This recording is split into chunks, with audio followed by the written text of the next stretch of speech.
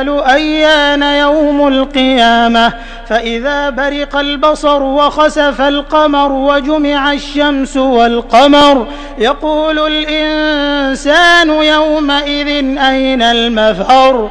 كلا لا وزر إلى ربك يومئذ المستقر. ينبأ الإنسان يومئذ بما قدم وأخر بل الإنسان على نفسه بصيرة ولو ألقى معاذيره لا تحرك به لسانك لتعجل به. إن علينا جمعه وقرآنه. فإذا قرأناه فاتبع قرآنه ثم إن علينا بيانه.